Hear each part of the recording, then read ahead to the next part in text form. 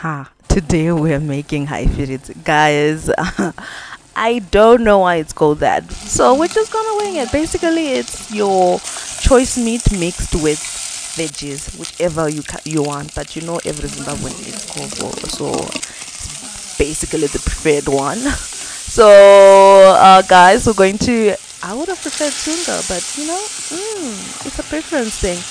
We're going to make our stew as we normally do, and uh, when it's looking creamy, luscious, and as Lila's does, we're going to add in our veggies, and it's going to cook down together, simmer down until you know there is like no separation between meat and veggie. The they're seamlessly intertwined in a relationship, a dance which is as old as time. I have suddenly got become poetic.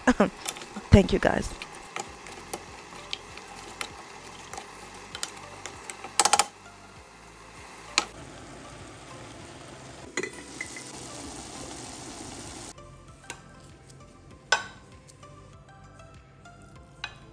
And that's a wrap, guys. Please subscribe.